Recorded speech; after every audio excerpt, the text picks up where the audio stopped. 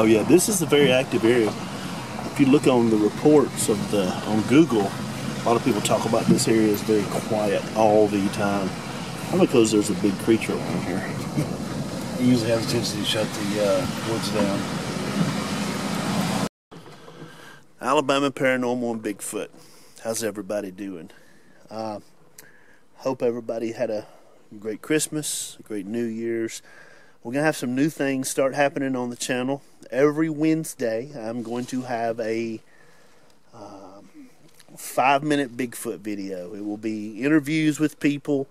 It will be some stuff that I see in the woods, tree snaps, tree breaks, uh, some of them might be a five minute investigation where I just set the camera down where a sighting has occurred. And so get ready.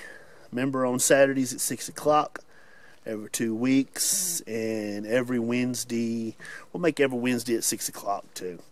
Uh, just be ready for that. Some good, exciting things are fixing to start happening for Alabama Paranormal and Bigfoot, and uh, it's going to be a great year.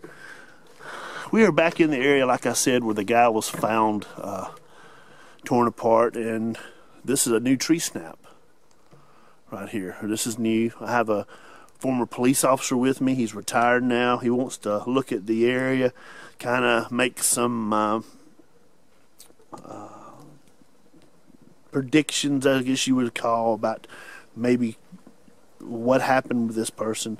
You have to realize this thing is 30 years old. They report that all this happened now about 30 years old, so uh, a lot of this, what we're doing is, of course, assuming. Hey, Jimmy. Jimmy, come over here for a second. Jimmy's working the thermal. Uh, Jimmy is currently in law enforcement, and he he does not want to get on camera. I, I, I totally understand his position and everything, so he's going to be behind the camera and, and just talk. Now, I've showed him the scene where the hunter was uh, ripped apart and everything. And we're just going to talk about it. Y'all are going to be a fly on the wall in this conversation and hear from a law enforcement background, somebody who's seen a lot of blood, a lot of guts, and everything else. And so I was telling Richard about how the body was torn apart and there was not a lot of blood. Go ahead, tell me what you told me, Richard. Uh, there's if a body's torn apart, um, it's going to bleed. I've seen people with their took a shotgun blast to the head, fell backwards down a hill, and they were flat by the time all the blood ran out of them. Um, a head wound will bleed like a stuck pig, too.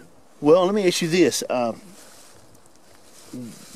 the way the body was described to me and what I've seen with the crime photos, a lot of the stuff, the four pieces, was torn off. How is that even possible? Um, a lot of strength.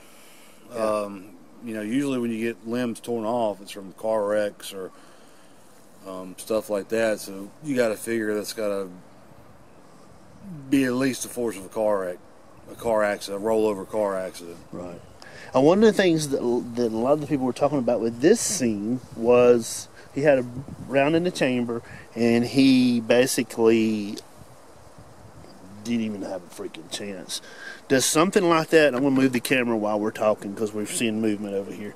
Is there a chance of? I mean, I guess there is a chance of something to being him being ambushed because it happened. Have you ever seen anything like that in your law enforcement career? Um, ambushes happen on a regular basis just with people. Right. They'll, they'll get they'll call make a, a false call to a location and start shooting at you. Um, in the woods, I would probably say that they would have, especially the way the ground is, uh, they could probably sneak up right up on you. You never would know it. Well, think about this though. Look, you're up in a tree stand. You're looking for movement. He has the tactical advantage. Right. But if it's dusk, if it's getting lose, you're losing light. I guess right. that. And I mean, so what did you think about when I told you story? And Richard's a very good close friend. We talk about Bigfoot quite a bit. He has an interest in it. What did, not? So what? I mean, what do you think? Um, I think it's very possible. I've, I have yet to be out on a hunt where we've seen any that have um, violence towards people that doesn't mean that there aren't some that are. Um, and if the guy's by himself, maybe an opportunity, opportunistic thing for what or he may have shot at one of them, and Yeah. that was what you know. Yeah. Well, and one of the things that the Forest Service people are telling me, and one of the rangers, is that the hog population in this area Mhm. just this year has decreased to, to zero. And a lot of people are saying, well, they moved through an area, and they're telling me that they've, they've seen the actual bodies where these hogs are being killed, and they can't quite figure out um, why. I thought that was very odd. You know? Oh, that is odd. Uh, but you know, if we're talking about an alpha predator uh, with a size that's anywhere between eight and ten foot and six to a thousand pounds, I mean, they're going to have to have a certain intake of calories to exist. Um, they can't. Um, they have to keep that up every day. So, I would imagine a pig is pretty good protein for them. Probably not a ton of calories, but you know the fat around the pig would be, you know, calories. Yeah, yeah. Alrighty, guys, we're going to move on down a little bit. I hope y'all have enjoyed this uh, fly on the wire conversation. And I do this protect Jimmy because he's in law enforcement and he's still currently he's fixing to retire. And when he retires, I'm actually looking forward to him joining my team and being a huge part of my team because he has a lot of good instinct. These old growth southern forest.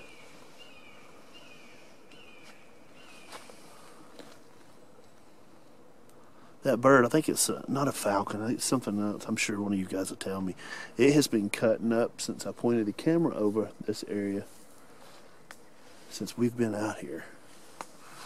Let's see if we can see any kind of movement.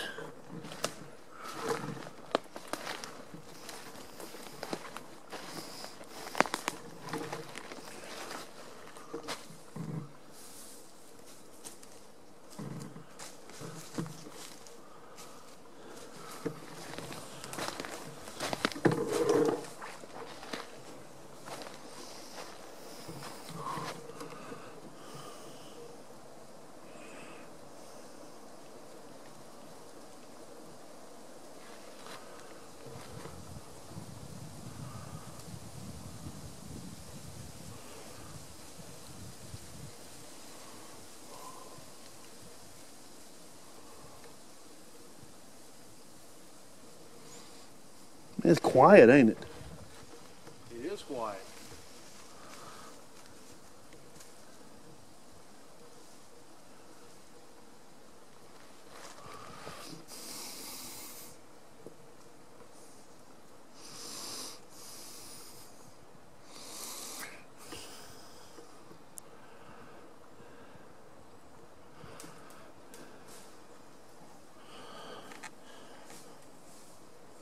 All right, guys, we're back. The crows and them, the other birds, not a bird expert, flew over toward this direction. And when they did, I, Jimmy was talking, and I heard, I heard some movement in the woods, and I don't know, could be a deer, could be anything,